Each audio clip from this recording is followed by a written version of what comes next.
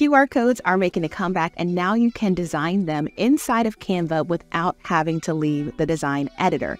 I have utilized this feature on both printed material, like a business card, and inside of a presentation digitally. So, I want to walk you through how to locate this, how to customize it, and also show you a creative approach to QR codes if you want to take your code to the next level.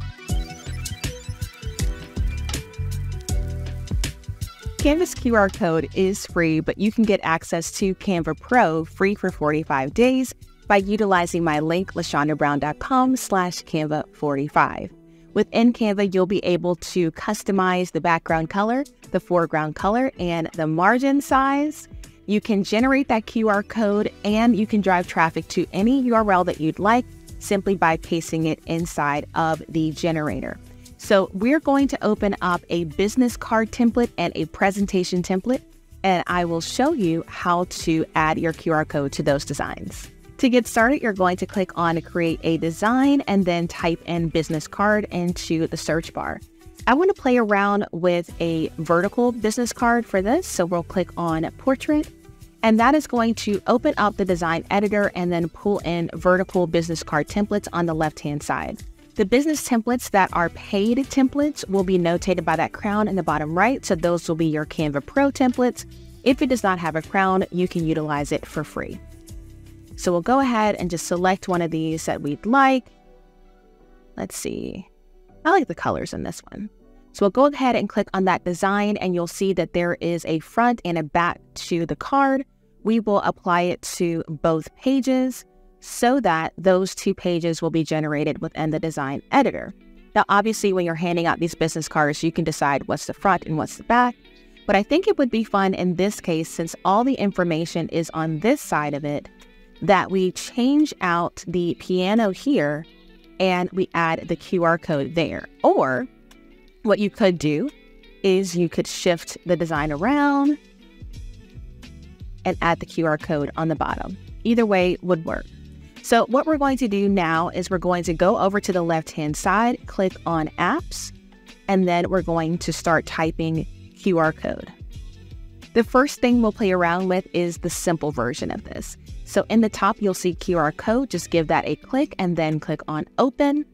Once you're ready to create that code, click on QR code and then paste or type in the URL for where you would like to direct traffic. I'm going to paste in lashondabrown.com, which is my website, and click on generate code. That is going to drop in a very plain QR code like you're accustomed to seeing them. It's white and black, it's fairly typical. However, you can customize this to fit your brand, and I'm going to show you how to do that. So, first, what we want to do is just go ahead and drag it into place where we would like it to appear.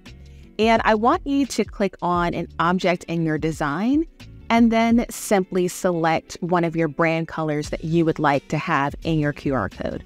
So I am going to select this light color here and then click on the plus sign here. That will help me to just copy and paste the hex code. Now, if you have your hex codes memorized or you have them in another window, you can always drag it from there. But that's just a simple way to get access to them. And then when we click on our QR code and the drop down beside customize, there we're able to change the black and the design to our brand color. If you also want to change the margins, you can do that by dragging from left to right. When you're done, you can generate code again, or you can update code by clicking on your previous design, and that will update it as well. So that's a very simple version of a QR code. And like I said, you can put this code in a presentation if you are presenting a talk both virtually or in person. And I like to use that as a way to drive traffic to a survey or a giveaway opportunity to engage my audience. It could be another way that you drive traffic to a landing page for people to opt in for your slides. That's a very simple way to grow your email list without creating more work for yourself. So QR codes, you know, are really helpful, especially if you're speaking in person, because people will typically have their phones out anyway. And then that way they can scan your code and go exactly where you want to send traffic to. And you don't have to worry about making short links or bit.ly links to make it easier for people to type it in manually. So that's your simple QR code option. But what I also want to show you is the dynamic QR code. So if we go back to our apps, I want to click on dynamic QR code here. This is a way that you can add a stylish QR code to your design without having to leave Canva, and it is powered by Hovercode. You select the template, add your logo, brand color, and more, and then it will create an even more dynamic QR code for you to add to your design. So we'll click on open there. And now you see you have some more options. So instead of just the simple version, you could do something in a circle, you could do something in a square. So this is going to give you a bit more options. If we click here, we can again type in lashondabrown.com. We can add the hex code from before. I could even upload a logo directly to this, and I can add it to my design. So if you preferred it in a circle, you could get rid of that. And you can drag it down here under your design. This way you can add a more stylish version of a QR code. The last QR code generator I want to highlight is Mojo AI. So you'll click on Mojo AI in the bottom right hand corner under that search. From there, it'll open up a window and you'll want to click on QR art in the top right hand corner. From there, type in your idea for your masterpiece. In this case, I'm going to say piano. Then we'll select the art style. In this case, I think I want digital art.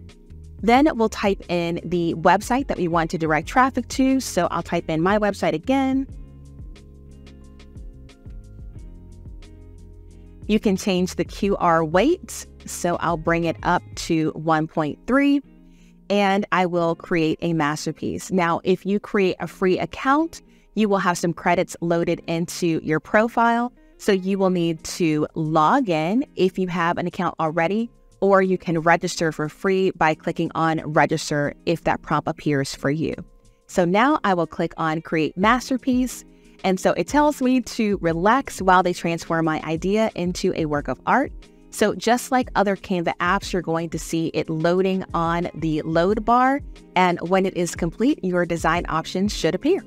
I hope this tutorial helped provide you with some options for QR codes that you can use on posters, on business cards, or in your next presentation. For more Canva tutorials, feel free to check out my playlist. Until next time, to talk for now.